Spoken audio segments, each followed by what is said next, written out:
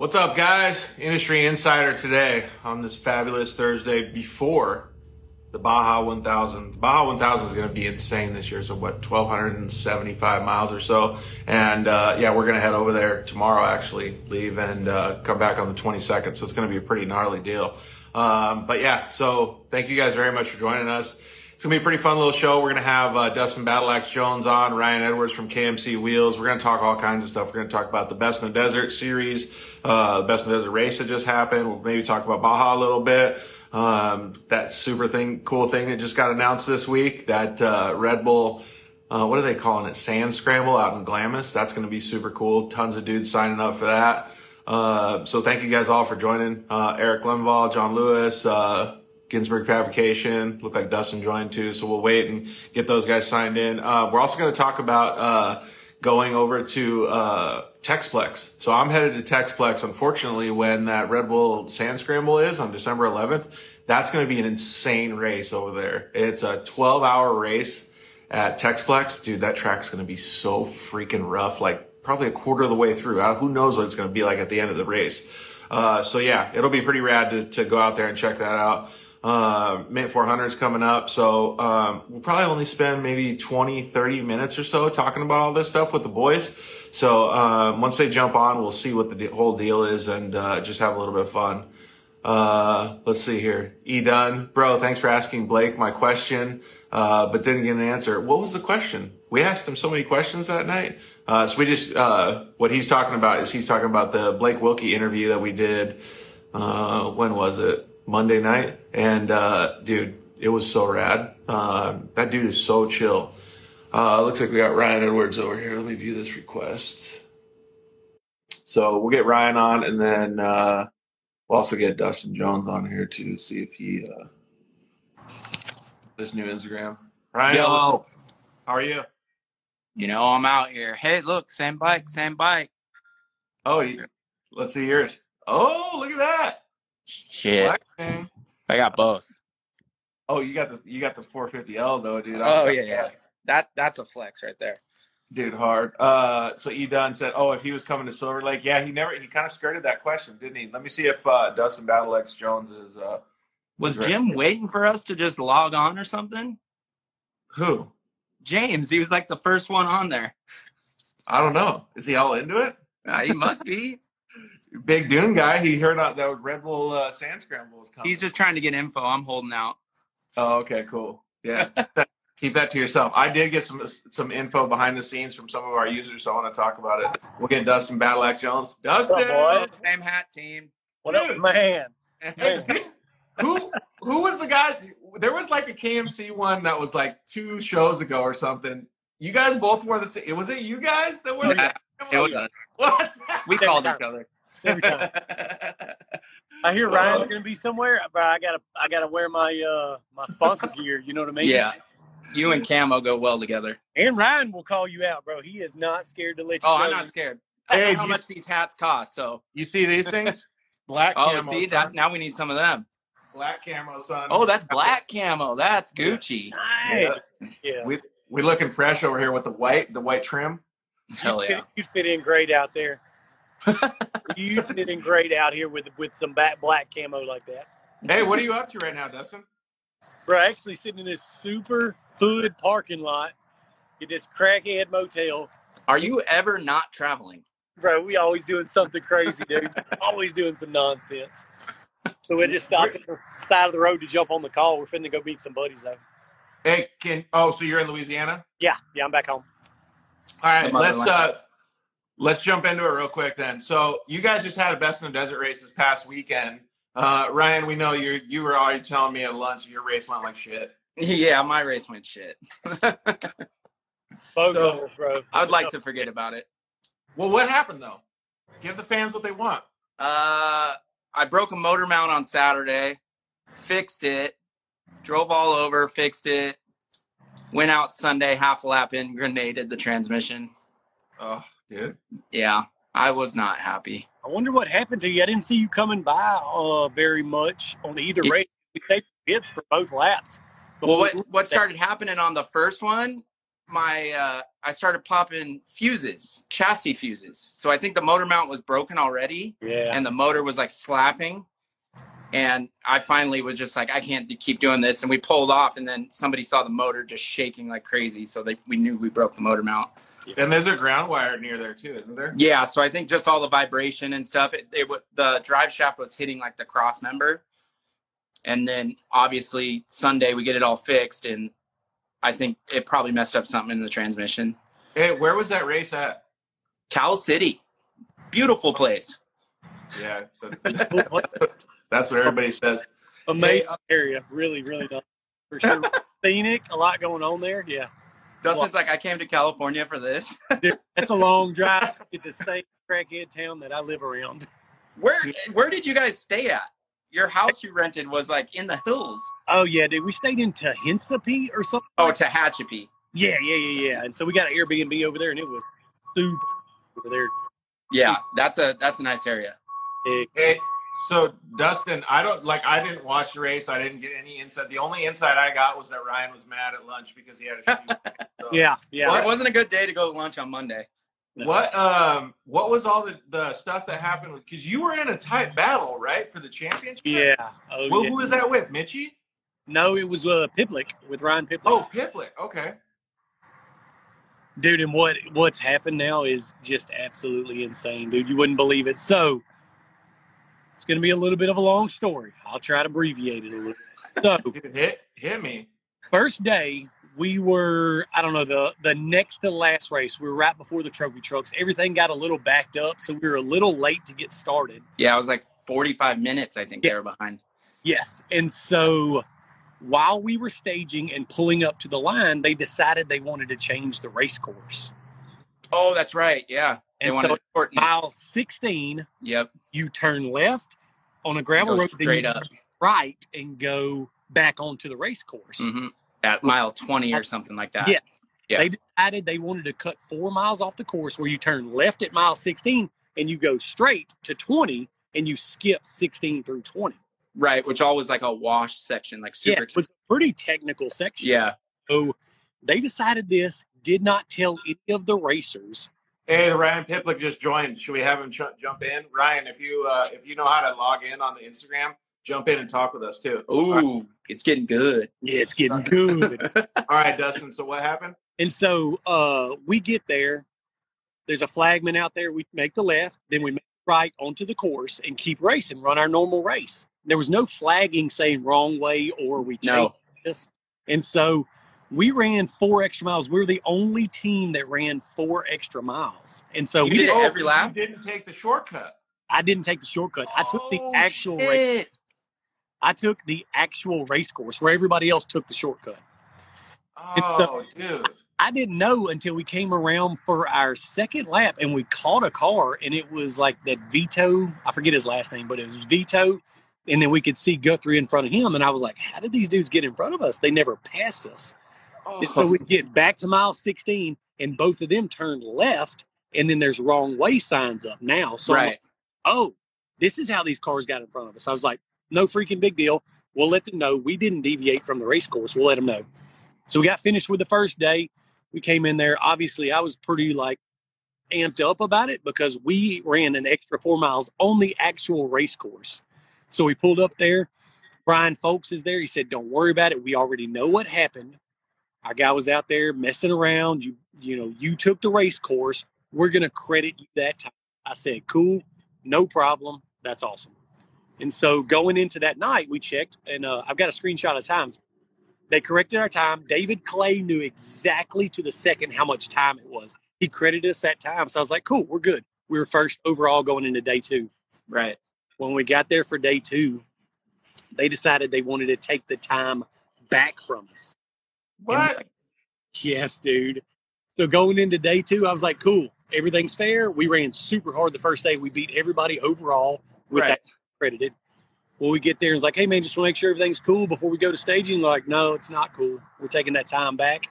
It's your fault for staying on the race course. You should have made should have gone left. I was like, That's like black, black, no take back, dude. I feel like Yeah. a so so we went into the second day third and uh and Ryan Piplic ended up beating us for the championship. So um we had to start farther back in the pack. And, uh, ran behind Vito for most of the day, and uh, we lost on time. Dude, that's crazy. What a way to like. I mean, you got to feel decent about your times. Uh, hey, so we got uh, Brian Brian joining us from Texplex. What's up, dude? How are you? What's up, guys? My dude just Yeah, slapped. Yeah, Yeah. just sliding in. Slide Gotta into talk- the DMs. Got to talk about Texplex though, because I'm coming out to see you soon, dude. Next Ooh, month, George. I know, Tex-Mex, finally. I don't know your style, buddy. huh? Tex-Mex is not going to hold up for you. Oh, Tex-Mex or Texplex? Yeah. This dude says Tex-Mex. No, Texplex. Not I, dude, okay. So I I'm- do I'm looking out for George's about this, taco 'cause The time, first all right? time I did go to Texplex, I did get some Tex-Mex, and it was complete dog shit. Like, I, That's what I'm saying. So- so Ryan, Ryan does have a foot to stand on here, Dustin. It sucks. Yeah, dude. There's some of those restaurants over there around Texplex that you, you just look at, you get diarrhea just by Yeah. looking at. The oh, place. no doubt. No doubt. Uh, so we had a couple things that we want to talk about, so I don't want to get too long-winded here, but uh, we'll come back to what you were talking about, Dustin, with the best in the desert stuff. Yeah. Are you going to race Texplex, Dustin? Uh, I'm going to be out there. So, Brian, I haven't told you this yet, but because of what uh, Best in the Desert just did to me, I'm going to be out there at your park celebrating that weekend. Oh, surprise, surprise. That's what I'm talking about, buddy. So I'll be there for it. Yeah. So Yeah. that was like the um I, that was the open invite. I wanted that was like the dream team to have you and Georgie in there talking about the race. Bro, we're there, man. We're there. We're All right. giving it the people's elbow all week. Dude, hey, if we got service, hey, we- we should go live, dude. Good service, go live. You already know. Yeah. You already Yeah, know. do it. Uh, so that would That's, be now pretty I'm cool. pumped now. I'm really pumped. I'm even more excited than what we got going on now. Oh, uh, Edward said his Wi-Fi just took a shit, so we're just gonna have to talk about Texplex. Uh, so uh, the race is on the same weekend as that Red Bull Sand Scramble, uh, but dude, I'm pumped to come out, man. It's gonna be so fun out there. Yeah, this is the first I heard about the sand scramble. I just saw it a couple days ago. I don't know if they've had it I planned saw- or dude, what, but I literally saw it today. I was like, oh man, it looks cool, but what a way to put it on the same date. That sucks for everybody else. yeah, it does kind of suck for everybody. I mean, a lot of people come out from the West Coast for this race, and it's you know we're already sold half the spots for this race already, so it's going to be huge. Hey, did you race it last year, Dustin? Um, no, I went out there and pitted with uh, actually my co-driver, and so I pitted for everybody last year. I helped the Millers change some parts on their cars during the race, so that was just a fun race for me to hang out and just be a part of. Yeah, so it'll be cool. Um, are you gonna race this year then? I don't think so, man. I want to just go out there and have a good time. I've had a full year of racing, dude. I've raced a bunch this year, and I just want to hang out with you and Brian and just enjoy the racing. You know. Dude, Brian, you can probably uh, vouch for what Dustin just said because you've seen him traveling so much. Dude, I've seen him on the West Coast more than I've seen some of my West Coast friends. Yeah, he's been out there a bunch this year. I noticed that he, he missed the last few rounds with us out at the Outlaw Series. Every Yeah. time I make sure I hit him up, be like, "Man, we miss you out here." Bro, it makes me feel so good to hear from you guys, and I love being out there for that, man. Like that's that's my fun getaway. You know, these desert races are tough, take a lot, and there's some obligation. there. But going to Texplex, man, it's just fun to be a part of that place. Yeah, for sure. Uh, Good- we had a bring you guys great year. We really did. I'll bring you guys some Dirt Life swag too. Uh, all right, Brian, thanks for coming on and joining us, dude. I'm gonna have a couple questions for Dustin, and then uh, Edwards doesn't look like he's gonna join us, and then uh, we'll just hit the road and uh, come see you in Texas after Baja. Sounds good, boys. You all have fun. See you, buddy? homie. See you in a little bit. later. Yeah, for sure. Uh, and I know you're trying to get on the road again, Dustin. But uh, so kind of continue along with that story, man. So that was like I don't want to say that's a dirty move because you got to respect the way that they make decisions and stuff. I mean, it is what it is. It's a Yeah. racing organization. You're going to race it next year, I'm sure too. So like, what what's the plan like moving forward? Yeah, I don't know, man. It's a tough it's a tough spot right now because there's a lot obviously on the line whenever you're running for a championship in regards to what Can Am is expecting.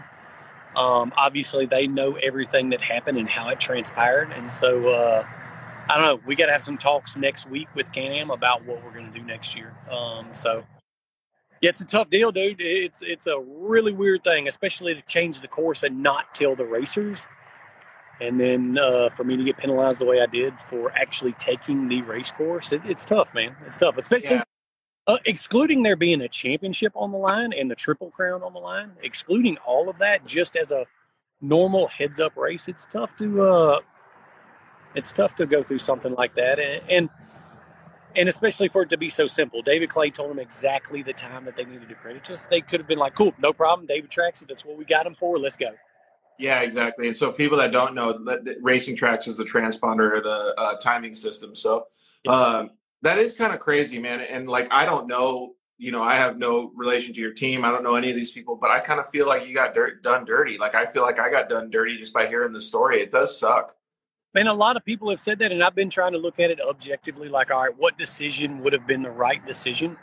In the conversation that Brian and I had at the finish line, where he said, "Don't don't worry about it. We're good. We know what the time was.